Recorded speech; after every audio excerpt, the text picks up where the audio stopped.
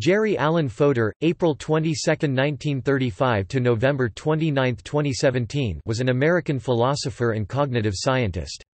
He held the position of State of New Jersey Professor of Philosophy, Emeritus, at Rutgers University and was the author of many works in the fields of philosophy of mind and cognitive science, in which he laid the groundwork for the modularity of mind and the language of thought hypotheses, among other ideas. He was known for his provocative and sometimes polemical style of argumentation and as one of the principal philosophers of mind of the late 20th and early 21st century. In addition to having exerted an enormous influence on virtually every portion of the philosophy of mind literature since 1960, Fodor's work has had a significant impact on the development of the cognitive sciences. Fodor argued that mental states, such as beliefs and desires, are relations between individuals and mental representations. He maintained that these representations can only be correctly explained in terms of a language of thought in the mind. Furthermore, this language of thought itself is an actually existing thing that is codified in the brain and not just a useful explanatory tool. Fodor adhered to a species of functionalism, maintaining that thinking and other mental processes consist primarily of computations operating on the syntax of the representations that make up the language of thought. For Fodor, significant parts of the mind, such as perceptual and linguistic processes, are structured in terms of modules, or organs, which he defines by their causal and functional roles. These modules are relatively independent of each other and of the central processing part of the mind, which has a more global and less domain-specific character. Fodor suggests that the character of these modules permits the possibility of causal relations with external objects. This, in turn, makes it possible for mental states to have contents that are about things in the world. The central processing part, on the other hand, takes care of the logical relations between the various contents and inputs and outputs. Although Fodor originally rejected the idea that mental states must have a causal, externally determined aspect, in his later years he devoted much of his writing and study to the philosophy of language because of this problem of the meaning and reference of mental contents. His contributions in this area include the so-called asymmetric causal theory of reference and his many arguments against semantic holism. Fodor strongly opposed reductive accounts of the mind.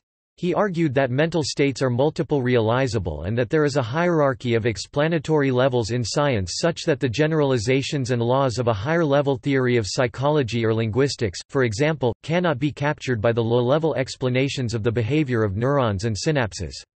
He also emerged as a prominent critic of what he characterized as the ill-grounded Darwinian and neo-Darwinian theories of natural selection. Biography Jerry Fodor was born in New York City on April 22, 1935, and was of Jewish descent. He received his A.B. degree summa cum laude from Columbia University in 1956, where he studied with Sidney Morgenbesser, and a Ph.D. in philosophy from Princeton University in 1960, under the direction of Hilary Putnam. From 1959 to 1986 Fodor was on the faculty of the Massachusetts Institute of Technology in Cambridge, Massachusetts. From 1986 to 1988 he was a full professor at the City University of New York CUNY. From 1988 until his retirement in 2016 he was State of New Jersey Professor of Philosophy and Cognitive Science at Rutgers University in New Jersey, where he was emeritus. Besides his interest in philosophy, Fodor passionately followed opera and regularly wrote popular columns for the London Review of Books on that and other topics. Philosopher Colin McGinn, who taught with Fodor at Rutgers, described him in these words: Fodor, who is a close friend, is a gentle man inside a burly body, and prone to an even burlier style of arguing.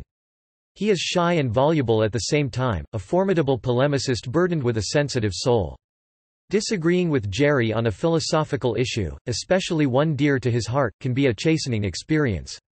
His quickness of mind, inventiveness, and sharp wit are not to be tangled with before your first cup of coffee in the morning. Adding Jerry Fodor to the faculty at Rutgers University instantly put it on the map, Fodor being by common consent the leading philosopher of mind in the world today.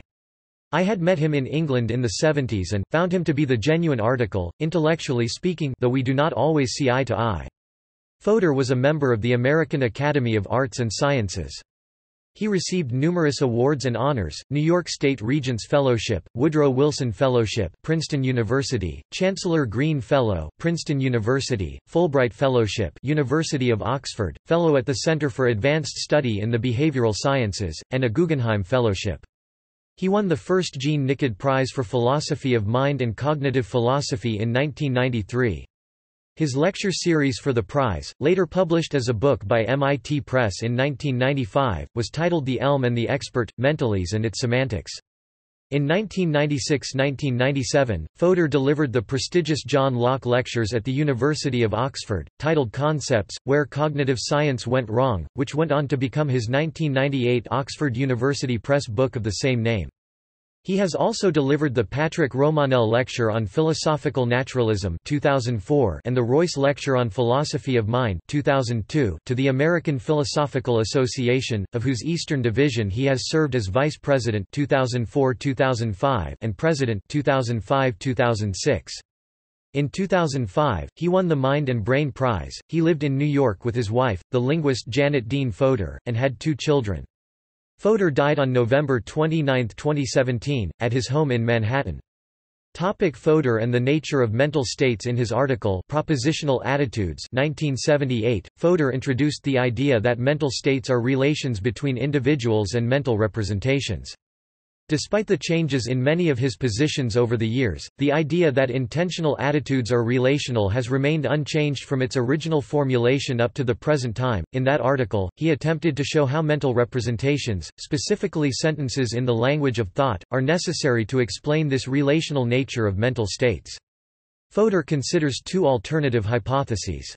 The first completely denies the relational character of mental states and the second considers mental states as two-place relations. The latter position can be further subdivided into the Carnapian view that such relations are between individuals and sentences of natural languages and the Fregean view that they are between individuals and the propositions expressed by such sentences. Fodor's own position, instead, is that to properly account for the nature of intentional attitudes, it is necessary to employ a three-place relation between individuals, representations and propositional contents. Considering mental states as three-place relations in this way, representative realism makes it possible to hold together all of the elements necessary to the solution of this problem. Further, mental representations are not only the objects of beliefs and desires, but are also the domain over which mental processes operate. They can be considered the ideal link between the syntactic notion of mental content and the computational notion of functional architecture. These notions are, according to Fodor, our best explanation of mental processes. The functional architecture of the mind Following in the path paved by linguist Noam Chomsky, Fodor developed a strong commitment to the idea of psychological nativism. Nativism postulates the innateness of many cognitive functions and concepts. For Fodor, this position emerges naturally out of his criticism of behaviorism and associationism. These criticisms also led him to the formulation of his hypothesis of the modularity of the mind. Historically, questions about mental architecture have been divided into two contrasting theories about the nature of the faculties. The first can be described as a horizontal view because it sees mental processes as interactions between faculties which are not domain-specific. For example, a judgment remains a judgment whether it is judgment about a perceptual experience or a judgment about the understanding of language. The second can be described as a vertical view because it claims that our mental faculties are domain-specific, genetically determined, associated with distinct neurological structures, and so on. The vertical vision can be traced back to the 19th-century movement called phrenology and its founder Franz Joseph Gall. Gall claimed that mental faculties could be associated with specific physical areas of the brain. Hence, someone's level of intelligence, for example, could be literally read off from the size of a particular bump on his posterior parietal lobe. This simplistic view of modularity has been disproved over the course of the last century. Fodor revived the idea of modularity, without the notion of precise physical localizability, in the 1980s, and became one of the most vocal proponents of it with the 1983 publication of his monograph Modularity of Mind. Two properties of modularity in particular, informational encapsulation and domain specificity, make it possible to tie together questions of functional architecture with those of mental content. The ability to elaborate information independently from the background beliefs of individuals that these two properties allow Fodor to give an atomistic and causal account of the notion of mental content. The main idea, in other words, is that the properties of the contents of mental states can depend, rather than exclusively on the internal relations of the system of which they are a part, also on their causal relations with the external world. Fodor's notions of mental modularity, informational encapsulation, and domain specificity were taken up and expanded, much to Fodor's chagrin, by cognitive scientists such as Zenon Pylyshyn and evolutionary psychologists such as Steven Pinker and Henry Plotkin, among many others. But Fodor complained that Pinker, Plotkin and other members of what he sarcastically called the new synthesis have taken modularity and similar ideas way too far. He insisted that the mind is not massively modular, and that, contrary to what these researchers would have us believe, the mind is still a very long way from having been explained by the computational, or any other, model. Intentional realism In A Theory of Content and Other Essays 1990, Fodor takes up another of his central notions, the question of the reality of mental representations. Fodor needs to justify representational realism to justify the idea that the contents of mental states are expressed in symbolic structures such as those of the lot. Fodor's criticism of Dennett Fodor starts with some criticisms of so-called standard realism. This view is characterized, according to Fodor, by two distinct assertions. One of these regards the internal structure of mental states and asserts that such states are non-relational. The other concerns the semantic theory of mental content and asserts that there is an isomorphism between the causal roles of such contents and the inferential web of beliefs. Among modern philosophers of mind, the majority view seems to be that the first of these two assertions is false, but that the second is true. Fodor departs from this view in accepting the truth of the first thesis but rejecting strongly the truth of the second. In particular, Fodor criticizes the instrumentalism of Daniel Dennett.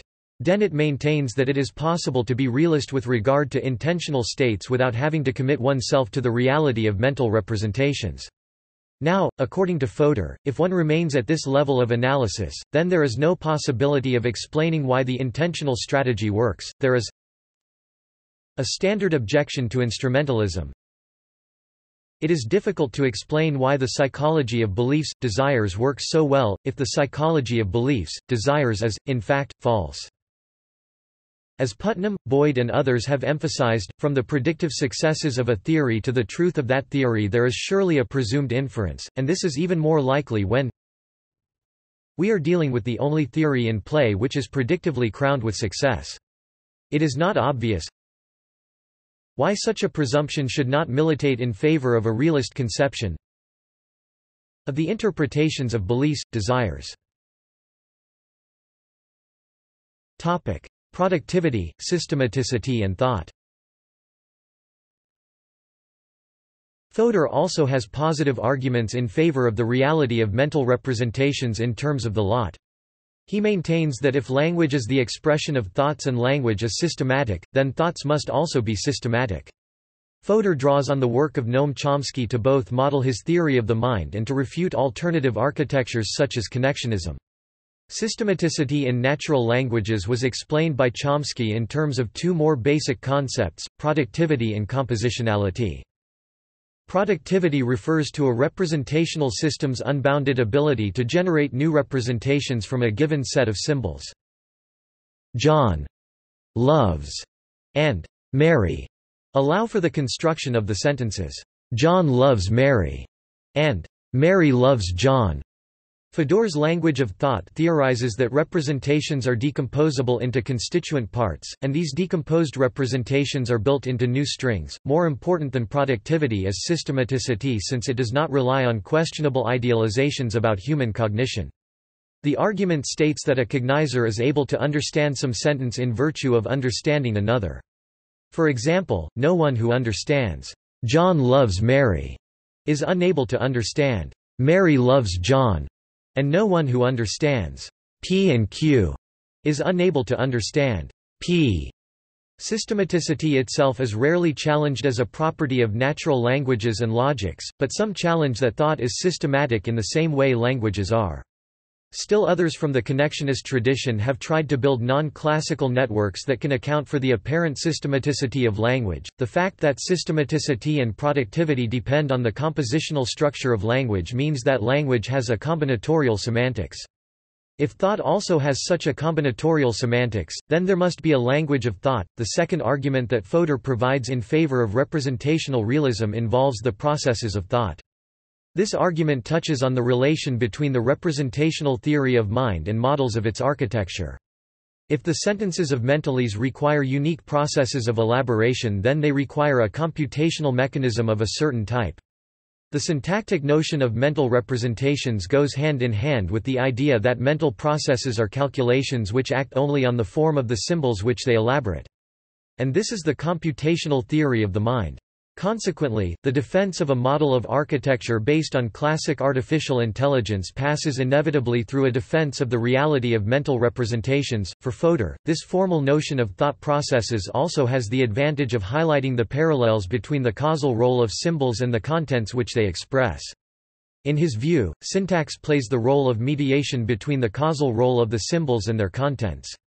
The semantic relations between symbols can be imitated by their syntactic relations. The inferential relations which connect the contents of two symbols can be imitated by the formal syntax rules which regulate the derivation of one symbol from another. The nature of content From the beginning of the 1980s, Fodor adhered to a causal notion of mental content and of meaning. This idea of content contrasts sharply with the inferential role semantics to which he subscribed earlier in his career. As of 2010 Fodor criticizes inferential role semantics because its commitment to an extreme form of holism excludes the possibility of a true naturalization of the mental.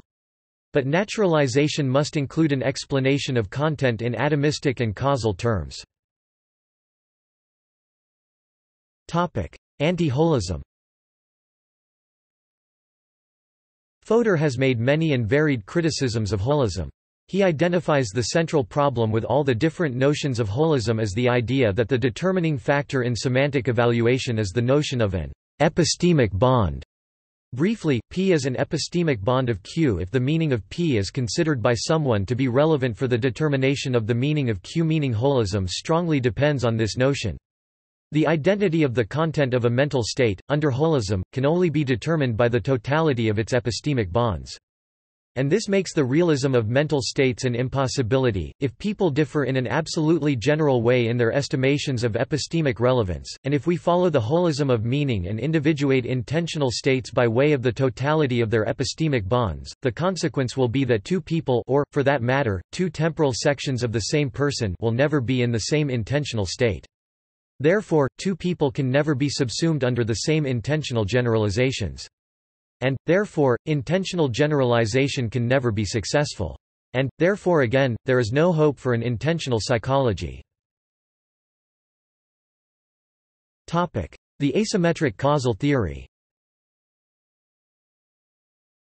Having criticized the idea that semantic evaluation concerns only the internal relations between the units of a symbolic system, Fodor can adopt an externalist position with respect to mental content and meaning.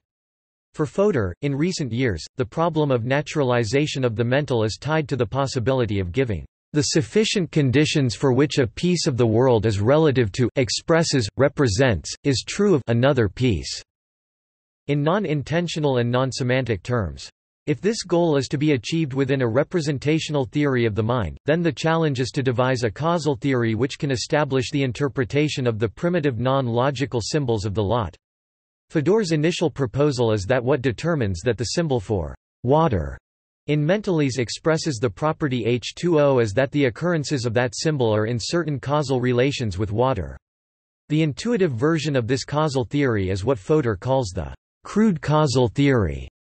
According to this theory, the occurrences of symbols express the properties which are the causes of their occurrence. The term, horse, for example, says of a horse that it is a horse. In order to do this, it is necessary and sufficient that certain properties of an occurrence of the symbol horse be in a law-like relation with certain properties which determine that something is an occurrence of horse. The main problem with this theory is that of erroneous representations. There are two unavoidable problems with the idea that a symbol expresses a property if it is necessary that all and only the presences of such a property cause the occurrences. The first is that not all horses cause occurrences of horse. The second is that not only horses cause occurrences of horse. Sometimes the A horses are caused by A horses, but at other times when, for example, because of the distance or conditions of low visibility, one has confused a cow for a horse, the A horses are caused by B cows. In this case the symbol A doesn't express just the property A, but the disjunction of properties A or B. The crude causal theory is therefore incapable of distinguishing the case in which the content of a symbol is disjunctive from the case in which it isn't. This gives rise to what Fodor calls the problem of disjunction. Fodor responds to this problem with what he defines as a slightly less crude causal theory. According to this approach, it is necessary to break the symmetry at the base of the crude causal theory. Fodor must find some criterion for distinguishing the occurrences of A caused by A's true from those caused by B's false. The point of departure, according to Fodor, is that while the false cases are ontologically dependent on the true cases, the reverse is not true. There is an asymmetry of dependence, in other words, between the true contents a topic a and the false ones a. a or b. The first can subsist independently of the second, but the second can occur only because of the existence of the first. From the point of view of semantics, errors must be accidents. If in the extension of horse there are no cows, then it cannot be required for the meaning of horse that cows be called horses. On the other hand, if horse did not mean that which it means, and if it were an error for horses, it would never be possible for a cow to be called horse. Putting the two things together, it can be seen that the possibility of falsely saying, this is a horse, presupposes the existence of a semantic basis for saying it truly, but not vice versa. If we put this in terms of the crude causal theory, the fact that cows cause one to say, horse, depends on the fact that horses cause one to say, horse. But the fact that horses cause one to say, horse, does not depend on the fact that cows cause one to say, horse. Functionalism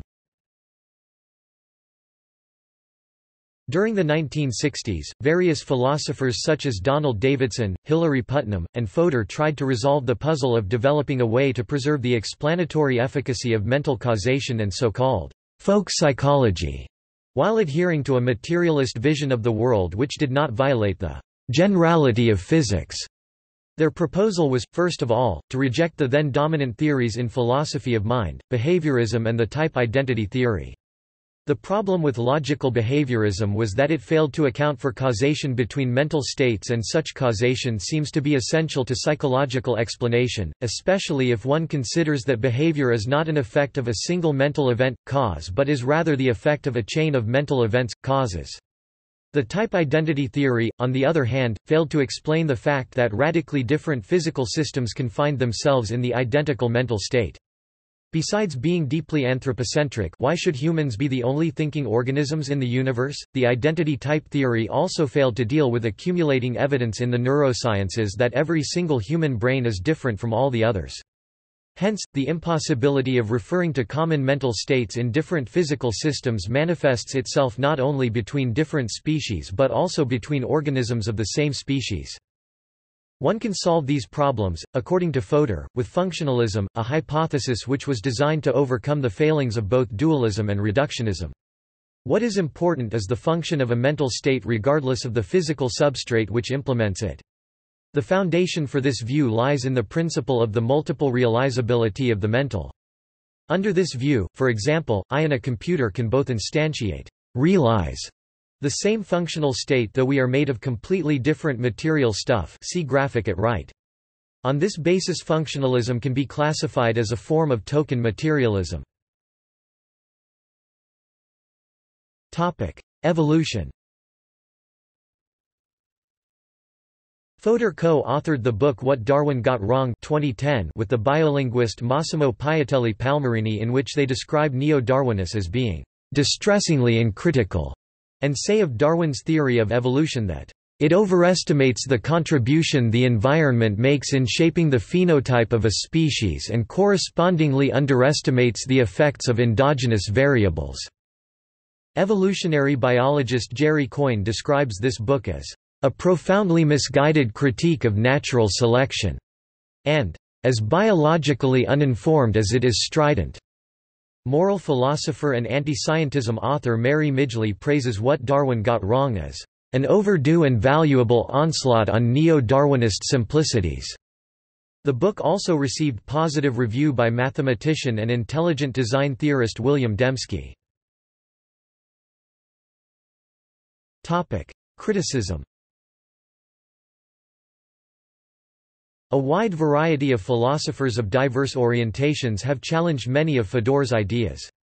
For example, the language of thought hypothesis has been accused of either falling prey to an infinite regress or of being superfluous. Specifically, Simon Blackburn suggested in an article in 1984 that since Fodor explains the learning of natural languages as a process of formation and confirmation of hypotheses in the lot, this leaves him open to the question of why the lot itself should not be considered as just such a language which requires yet another and more fundamental representational substrate in which to form and confirm hypotheses so that the lot itself can be learned. If natural language learning requires some representational substrate the lot in order for it to be learned, why shouldn't the same be said for the lot itself and then for the representational substrate of this representational substrate and so on, ad infinitum? On the other hand, if such a representational substrate is not required for the lot, then why should it be required for the learning of natural languages? In this case, the lot would be superfluous. Fodor, in response, argues that the lot is unique in that it does not have to be learned via an antecedent language because it is innate. In 1981 Daniel Dennett had formulated another argument against the lot. Dennett suggested that it would seem, on the basis of the evidence of our behavior toward computers but also with regard to some of our own unconscious behavior, that explicit representation is not necessary for the explanation of propositional attitudes. During a game of chess with a computer program, we often attribute such attitudes to the computer, saying such things as, "...it thinks that the queen should be moved to the left." We attribute propositional attitudes to the computer and this helps us to explain and predict its behavior in various contexts. Yet no one would suggest that the computer is actually thinking or believing somewhere inside its circuits the equivalent of the propositional attitude, I believe I can kick this guy's butt, in Mentalese. The same is obviously true, suggests Dennett, of many of our everyday automatic behaviors such as desiring to breathe clear air. In a stuffy environment, some linguists and philosophers of language have criticized Fodor's self-proclaimed extreme concept nativism. Kent Bach, for example, takes Fodor to task for his criticisms of lexical semantics and polysemy. Fodor claims that there is no lexical structure to such verbs as keep, get, make, and put. He suggests that, alternatively, keep simply expresses the concept keep. Fodor capitalizes concepts to distinguish them from properties, names or other such entities. If there is a straightforward one-to-one -one mapping between individual words and concepts, keep your clothes on, keep your receipt, and keep washing your hands, will all share the same concept of keep under Fodor's theory. This concept presumably locks onto the unique external property of keeping. But, if this is true, then retain must pick out a different property in retain your receipt, since one can't retain one's clothes on or retain washing one's hands. Fodor's theory also has a problem explaining how the concept fast contributes, differently, to the contents of fast car, fast driver, fast track, and fast time. Whether or not the differing interpretations of fast in these sentences are specified in the semantics of English, or are the result of pragmatic inference, is a matter of debate.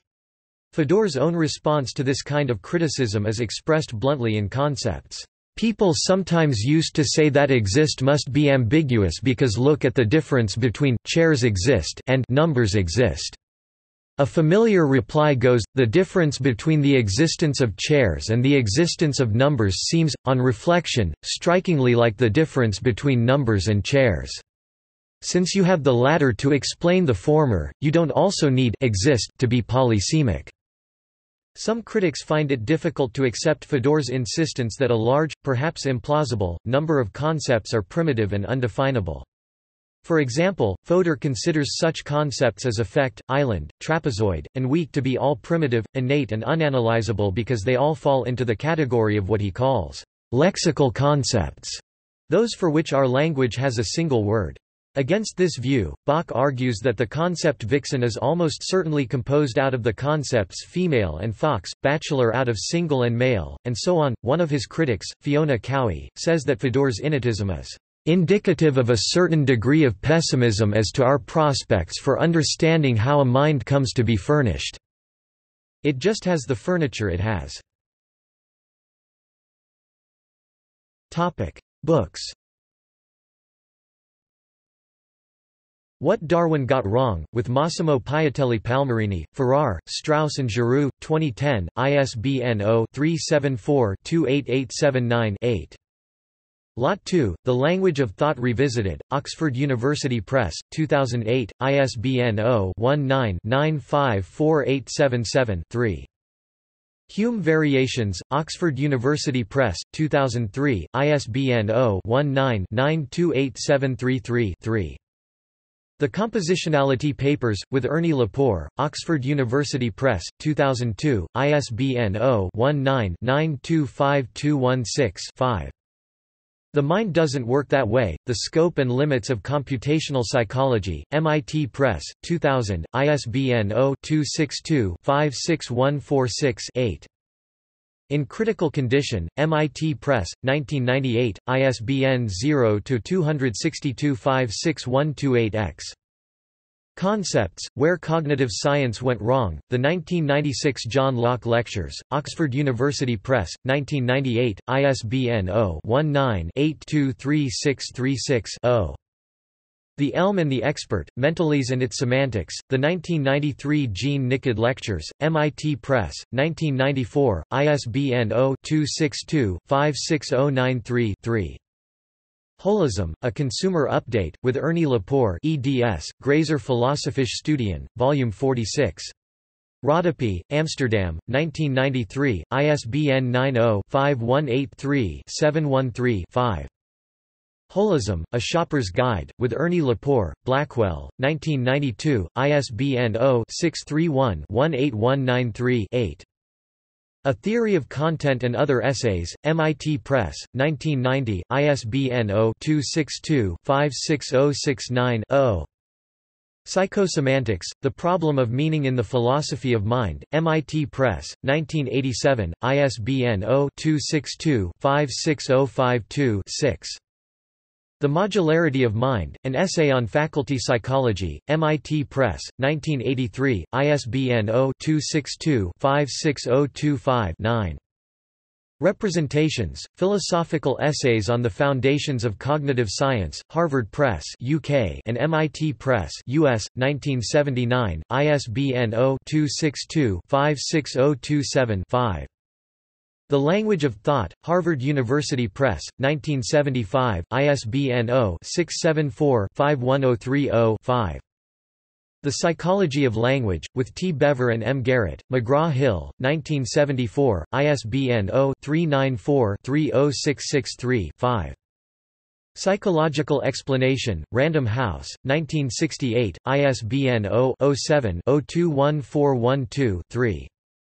The Structure of Language, with Jerrold Katz eds, Prentice Hall, 1964, ISBN 0-13-854703-3. See also. Computational theory of mind. Connectionism. Folk psychology. Functionalism philosophy of mind. List of Jean Nicod Prize laureates Special sciences References External links Jerry Fodor's homepage Jerry Fodor at the London Review of Books Semantics, An Interview with Jerry Fodor. Revel. Volume 5, n. 8 March 2007. Bloggingheads dialogue between Jerry Fodor and Elliott Sober.